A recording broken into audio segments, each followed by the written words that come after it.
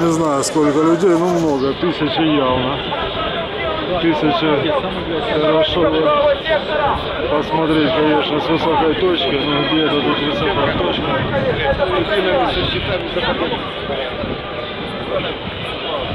Если кто-то владеет информацией о провокаторах, просьба сообщать милицию, ребята.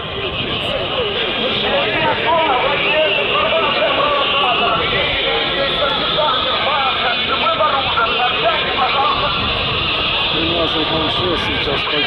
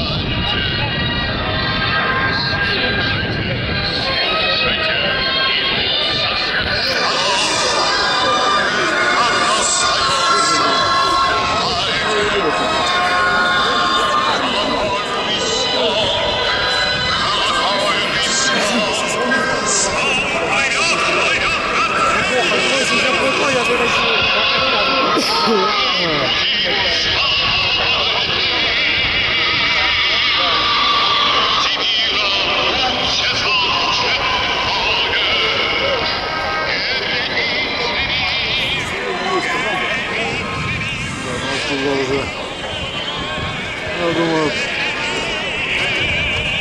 представление получить можно о количестве людей, идеях. Можно все вот здесь. Слава Советской Армии. Сегодня 23 февраля. Я совсем забыл.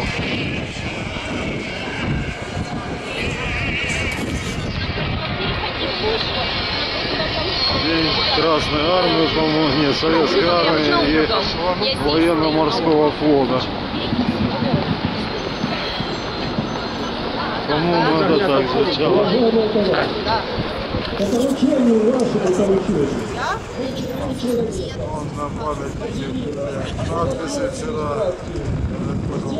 Выяснить информацию о том, которая прозвучала здесь, о том, что Разрисовал. э, Вчера вечером здесь очень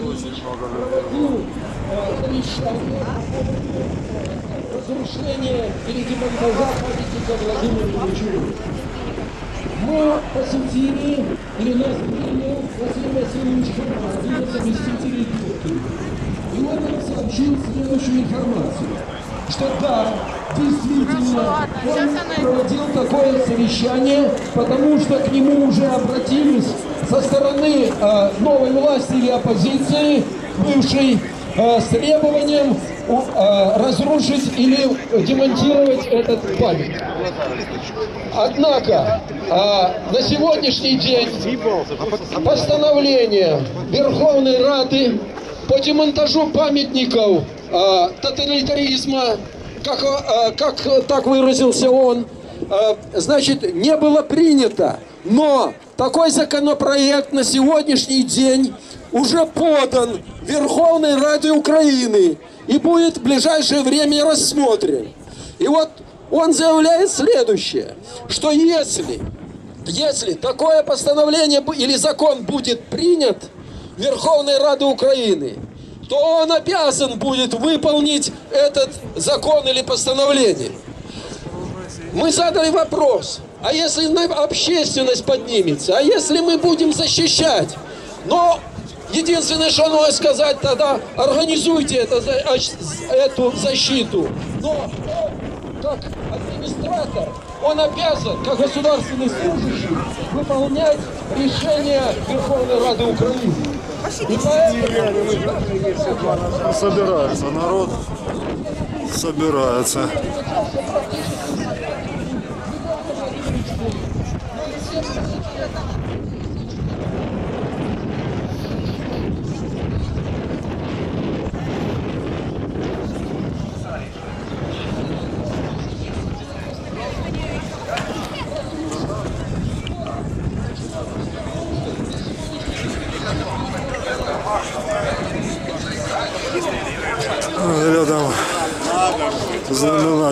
Памятник.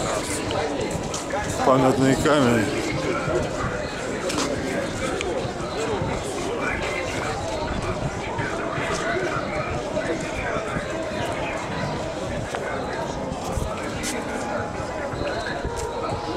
На честь самовизначення української нації 16 липня 1990 року.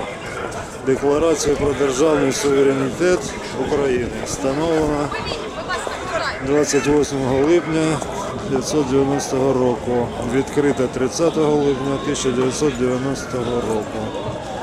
Під час багатотисячного мітингу харків'ян. —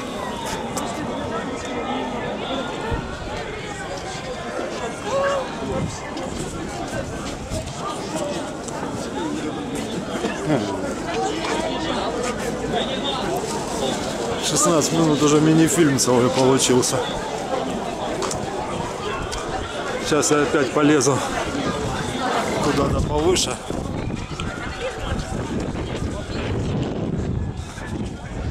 Хочу все-таки представление о количестве людей и совершенно площадь для этого не приспособленное место. Что, в общем-то, и не странно для площади.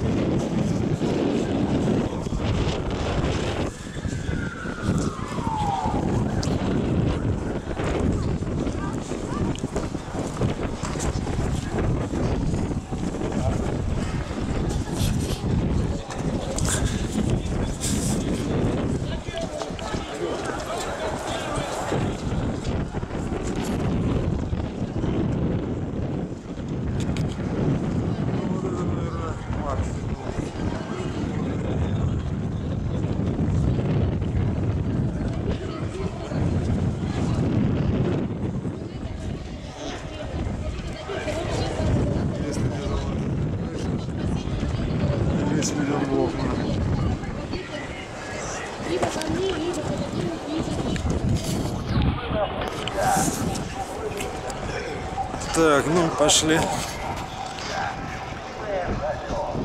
По ту сторону баррикад уже нет, баррикад уже, слава богу, нет. Надеюсь, никто никого уже стрелять, убивать не будет. Дело осталось за договоренностями, даже не политическими, а просто между людьми. Потому что этих, я понимаю, товарищей, сам до сих пор не могу. Слово Бандера. Без того, чтобы мне ухо не резало слышать. Это уже с кровью, с молоком матери впитано, потому что выросший в Восточной Украине, в Советском Союзе, человек, по-моему, не знаю, буду говорить за себя.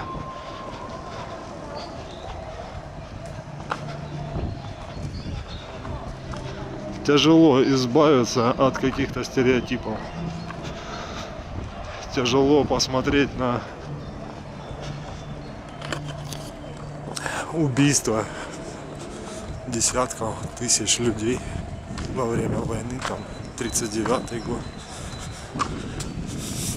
поляков. Потом во время Великой Отечественной войны уже тяжело относиться к этому, найти для этого оправдание. Даже борьба за независимость, борьба за